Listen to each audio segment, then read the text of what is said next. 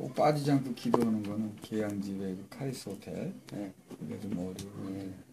고시가 모였는데 어려우면 안 되겠더라고요. 네. 그래서 카리스 호텔하고 거기 이게 거기도 총무님 김상정 네. 총무님 그것도 그 동생분이 또 북한에 억류돼 있고 아. 그래서 이제 어, 업무가 됐어요. 그 선교사님 아, 네. 그러신가요? 그분이 지난번에 그 TV에 나왔던 분 뉴스에 그 뉴스에도 나오신 분. 그 전에 알았는데 그게 한번 이슈가 되다 말더라고 그게. 그게 그 동생이 돼 김상정 그 총무님 동생이시더라고요.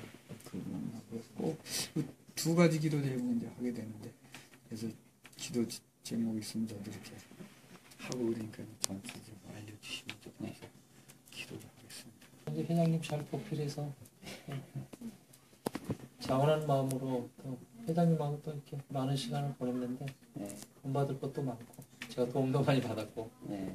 그래서 이제 잘 섬기려고 합니다. 그래서 꼭 좀 이렇게 일이 있으면 연락을 주시면 좀 이렇게 모든 일을 좀 같이 했으면 좋겠고요. 그래서 제 생각에는 좀 이제 연합회가 이렇게 그냥 형식적인 모임이 아니라 서로가 좀 교류되는 모임을 했으면 좋겠다.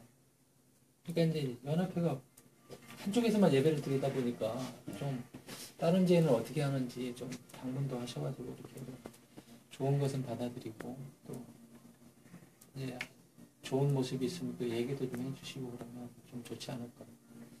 그